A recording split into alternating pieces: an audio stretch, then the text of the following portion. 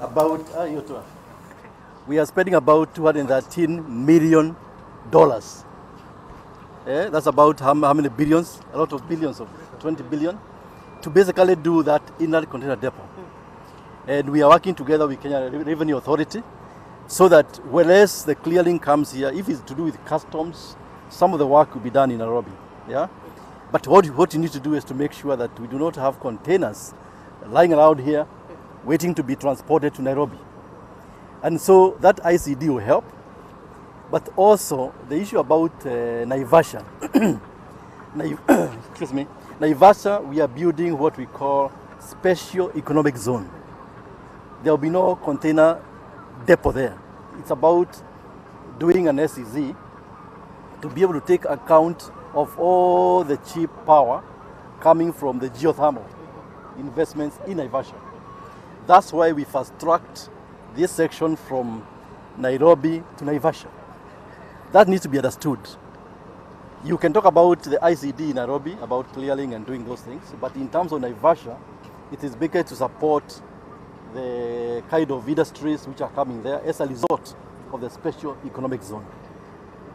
Just a, a question to the MD. Um, looking at um, the fact that um, all these improvements have been done at the port, um, what should the, the users of the port expect in terms of uh, cargo dwell time, um, issues to do with uh, more jobs for the young people, and of course, talking from an operations point of view, have you procured more equipment, um, for example, the gantry cranes, and uh, if you can just give us an update on that. Okay. Uh, in terms of, let me start backwards. In terms of equipment, yes, we have procured and we are continuing to procure. Right now, here we have two ship to shore gantry cranes and 10 rubber tired gantry cranes. We are in the process of procuring an additional four. This is for both this container terminal and also phase two, because um, ship to shore cranes take a minimum of 18 months to, to manufacture. So we have to do the procurements ahead of uh, completion.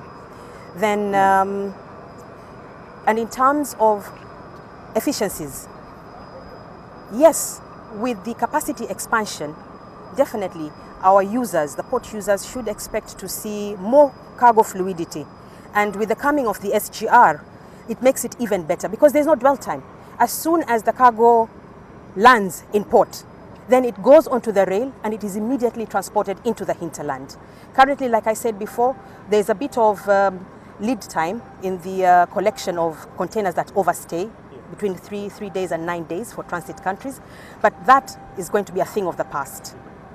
And as yes, do you, do you think um, this will have an impact on the cost of doing business moving forward? And secondly, um, of course, uh, the port of Mombasa is also anticipating to be linked to LAPSSET. Um, if you could also comment on that. Yeah, I think that's a very um, appropriate question to ask um, because you see, we keep on talking about bring down the cost of doing business in this country. Uh, to the businessman in Nairobi, waiting for his, for his uh, goods to be imported, what matters most, in addition to the cost, is the time.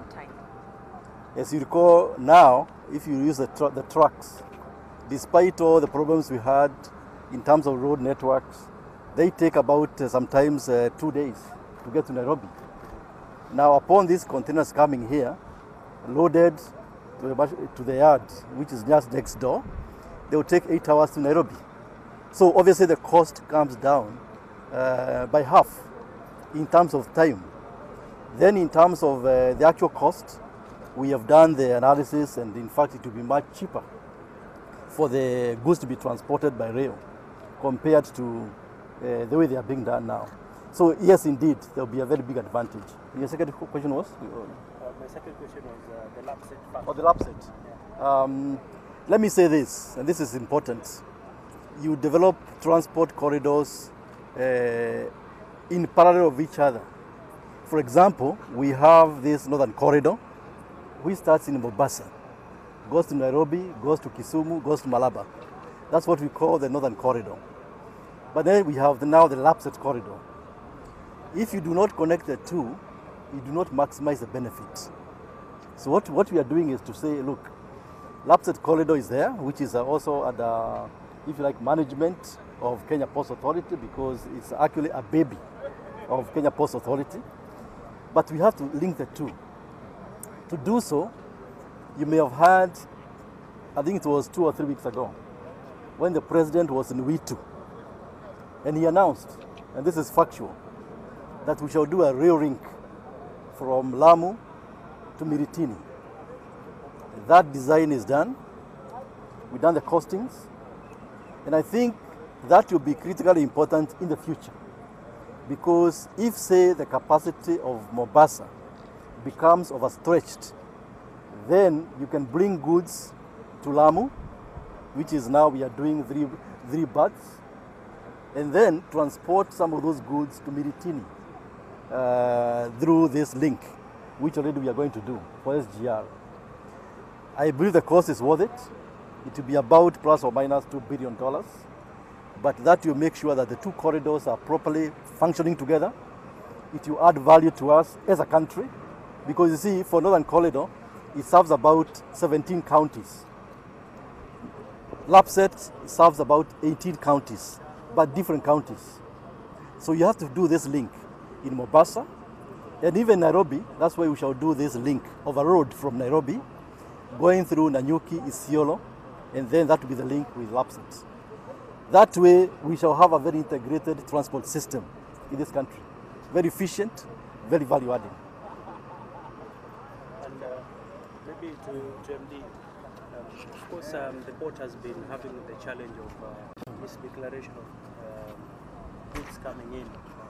Um, KRA has also tried to step up its game in terms of um, having a new system in place. And um, moving forward with, uh, with a growing number of cargo capacity, um, this also exposes the port management to the exposure that could come along with that. Um, perhaps what sort of measures do you have in place moving forward to tackle issues of uh, contraband goods coming into the country? And um, so far, how would you assess the performance of uh, the port in terms of handling this? The problem of misdeclaration is something that we are fighting together with KRA. So it's an interagency initiative. We as a port cannot do it alone, and they as um, Kenya Revenue Authority cannot do it alone.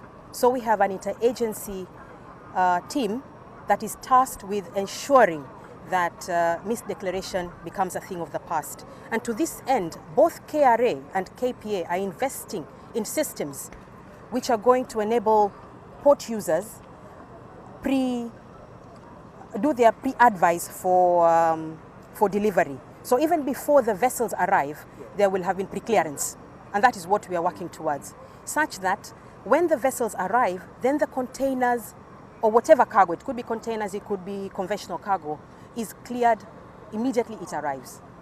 Without those systems, then even the fact that SGR is there will not, will not work. So we must make sure we do pre-clearance. Cargo comes in, it's already been pre-cleared, it goes out immediately. So we are working together with, uh, with the other interagencies. Yeah? Precisely. So um, I suggest from here, because we need to see the linkage now between the port of Mombasa and the SGR. We go to the marshalling yards, which is, if you like, the genesis, the starting point of the SGR, and then from there we shall see the other investments, like the Mombasa West Station. Okay, let's move on.